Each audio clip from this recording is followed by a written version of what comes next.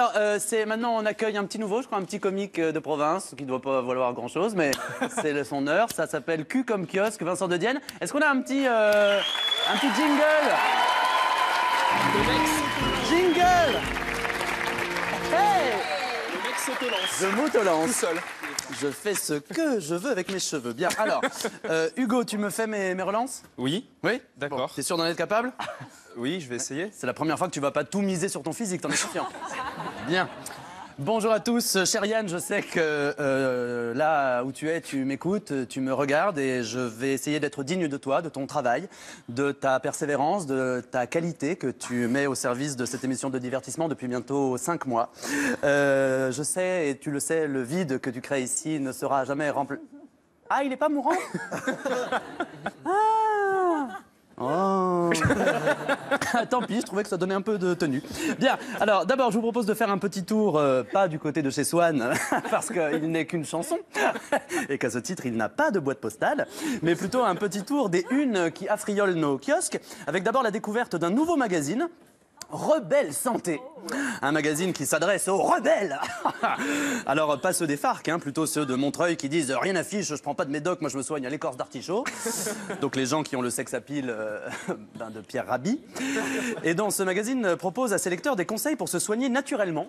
Donc Yann, si tu nous écoutes, euh, pour ta grippe, je te conseille la lecture de cet article, page 40, hein, qui saura t'assainir.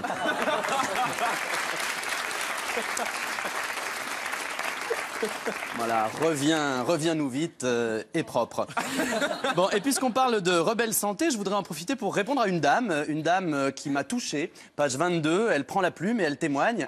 J'ai des taches noires sur mes salades depuis trois ans. Quelles sont ces maladies? Eh bien, chère Arlette, je ne suis pas professionnel, mais je dirais que ça s'appelle euh, la solitude, cette maladie, dont le symptôme le plus courant est, je le rappelle, le fait d'écrire à une revue pour demander quelles sont les maladies dont souffrent ces salades. Alors, puisqu'on parle de salade, je voudrais attirer votre attention sur une déclaration de Patrick Timsit en une de lui. Regardez, Patrick Timsit, j'ai peur d'un escargot.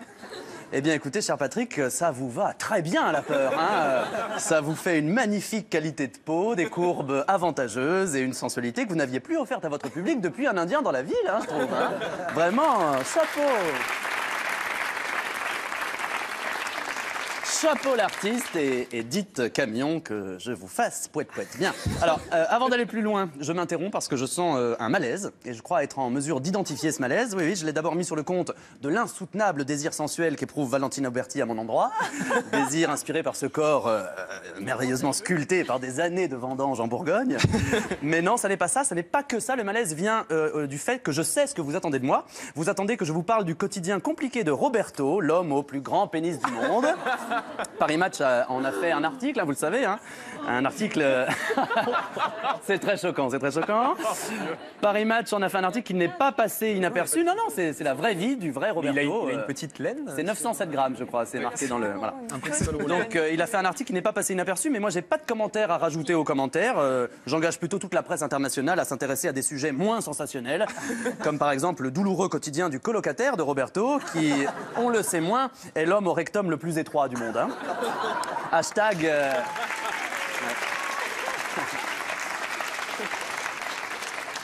Hashtag ferme ta chambre à clé et n'hésite pas à caler une chaise sous la poignée, il y a moyen que sa bite fasse bélier. Un hashtag que pour plus de commodité, on peut abréger euh, en hashtag ouiaïaï. Bien.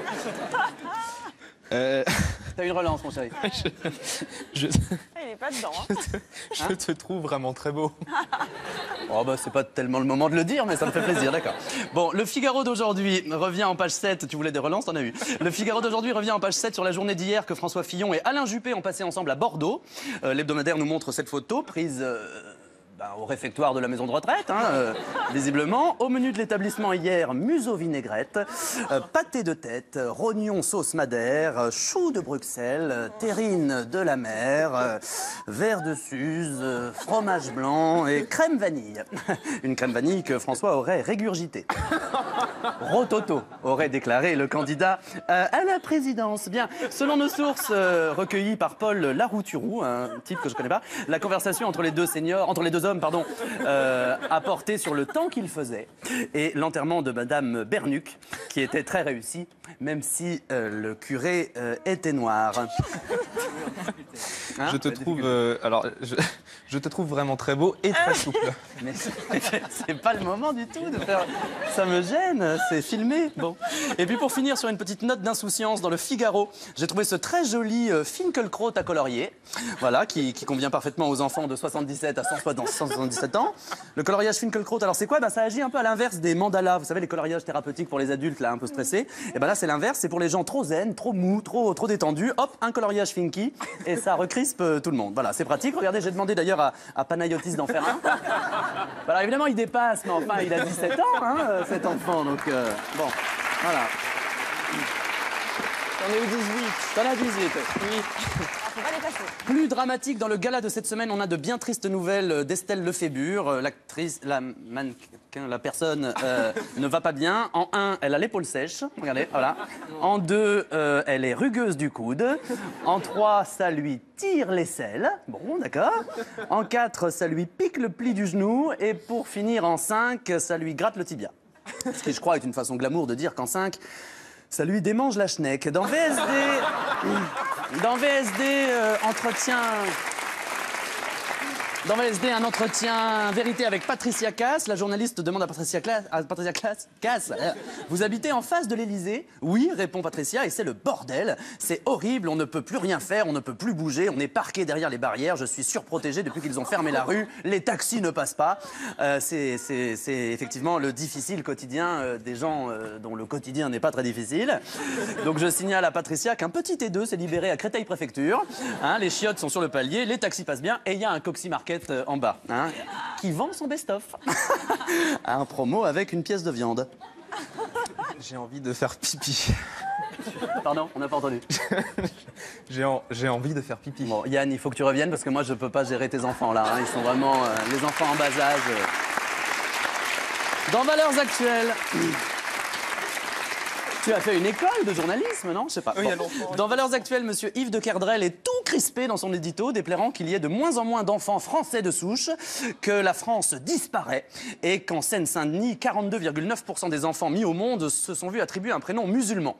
Alors je comprends votre effarement, euh, bien sûr, mais figurez-vous, monsieur, qu'a priori, il faudrait revoir les textes. On n'est pas obligé de tous s'appeler Yves de Kerdrel, hein, ce qui est une bonne nouvelle. Hein, Yves de Kerdrel qui n'est pas, rappelons-le, un patronyme euh, musulman du tout. Bon, je vous passe le reste de l'édito qui, en fait, euh, Yves s'inquiète de la faible ponte des Françaises. C'est un peu pénible, il s'occupe des utérus de tout le monde. Enfin bref, il est sympa, Yves. Yves. C'est joli comme prénom, Yves. ça chante. Ça chante du chant grégorien, mais ça chante. Bon, cela dit, pour être honnête, pour une fois, Valeur Actuelle ne me donne pas uniquement envie de mourir, mais euh, petit espoir un peu de vieillir aussi, afin de pouvoir rapidement euh, faire l'acquisition de ce sublime monte-escalier. sublime, hein Regardez si elle a pas l'air heureuse d'aller faire un petit pipi en haut, madame. Ah. Eh bien oui, parce que le monte-escalier, c'est important, ça permet de rester indépendant. Tout en perdant sa dignité, bien sûr. hein. Si 48 secondes de bruit sourd pour monter 15 marches, c'est pas, c'est pas digne, c'est long. En tout cas, niveau utilisation, pas de panique, grâce à un guide pratique très pratique qui répond aux questions les plus fréquentes, comme par exemple, faut-il une télécommande? Bah non, ils vont pédaler les vieux, tu penses bien? Ou alors la pertinente pourquoi il vaut mieux un démarrage et une arrivée en douceur? Eh bien, je réponds à cette question hein, parce que je rappelle que jeter violemment une personne âgée dans l'escalier euh, peut entraîner des graves conséquences, comme par exemple euh, le fou rire ou le bon débarras, par exemple. hein. En tout cas, on le veut, ce monte-escalier, ne serait-ce que parce qu'il rend joyeux comme tout, regardez, et, et parce qu'il il- il permet le choix de l'excellence. Et c'est clairement ce que pense ce monsieur. Regardez ce monsieur qui se fait pignoler discrètement derrière la promo, là. Voilà. Dis donc, Vincent, Oui. Qu'est-ce que t'as fait ce week-end? Ah non, Qu'est-ce quoi. que t'as fait ce week-end? J'ai brunché. T'as brunché. T'as pas fait autre chose aussi en, je sais pas, un événement, un happening?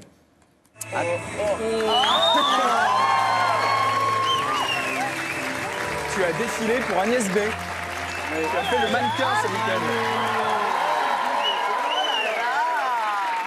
La vache. Chanoui T'as vu comme j'étais tendu de la bouche Elle fait un clin d'œil Des des beaux gosses. points aussi. J'ai fait un clin d'œil des beaux gosses, Ah mais oui. j'ai un petit peu fait un AVC en même temps. Non, mais le, points. le demi-tour est génial. Bon, c'est très gênant. Alors, euh, on passe à...